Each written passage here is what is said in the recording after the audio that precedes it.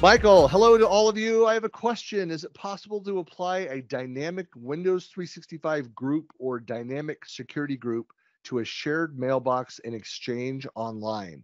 The goal should be for the members of the dynamic Windows 365 group or dynamic security group in Azure AD, now Entra ID, uh, to transfer the member to the shared mail, mailbox, almost a dynamic shared mailbox.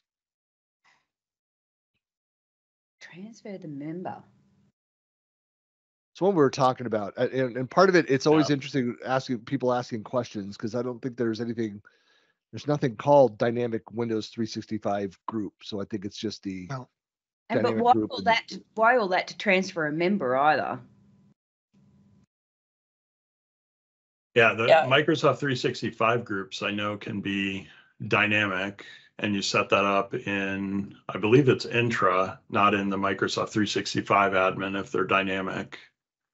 And whether that would be something that you could put into a um, shared mailbox or whether you'd use something else for a shared mailbox, um, not familiar with. I know with Microsoft 365 groups, the thing I realized was Teams admin gives you the ability to control certain aspects of groups because they underlie under their underlying teams, but it doesn't allow you to do the administration you need for dynamic groups. That's a groups administrator right or role that you need. Um, so I'd say part of it might be to test. You'd need to make sure you have the appropriate rights in um, Entra to make the changes to a dynamic group. And then um, I'm not familiar with the the shared mailbox piece of the question. I almost want to go back to Michael and say, what's your problem? Like, Yeah. yeah, I always go back to what, what's this challenge you're trying to solve? Because this seems like a whole big workaround for something that probably has a simpler solution to it. Um, if, you know, he's using things that he knows, but if we could start with what the challenge is, then we Yeah. might be able to find a better solution. And I know with Microsoft 365 groups, the default behavior depends on where you define it. So if it's a regular Microsoft 365 group and you define it in Outlook versus Teams versus SharePoint or Stream, it may have some different behaviors based on where it was set up in the first place, especially with the you know the groups mailbox, which is a thing that you get with those uh, those groups as well. And there's a way to change those settings in Outlook that Ricardo Wilkins from Microsoft blogged about on Cute for Teams, his Champions Using Teams Effectively weekly show. So I learned kind of a place to change whether um, when something goes on the group calendar, whether it shows up on my personal calendar or not, is a setting that everybody in the group can control.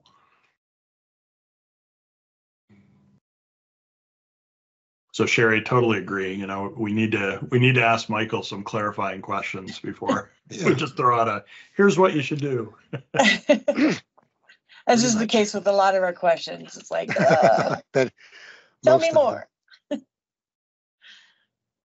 them- I do found there's one article uh, article found a good one over in Stack Overflow. So how to use Azure AD, Entra ID, dynamic groups to manage uh, shared mailboxes in in Azure. Perfect. Put the link in the chat.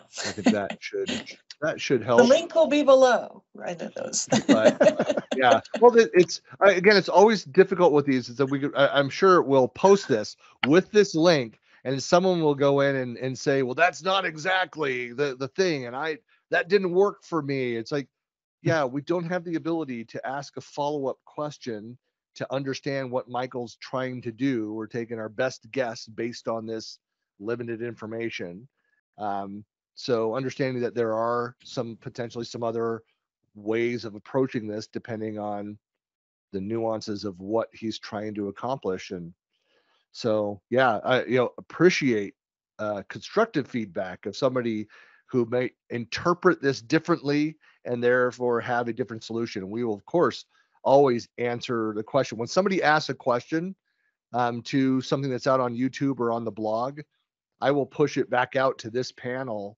and say hey does anybody want to go and respond to this question, this follow-up. Um, because more information is always good, having clarified um what Michael was asking, but we're doing our best, folks. Yes, indeedy.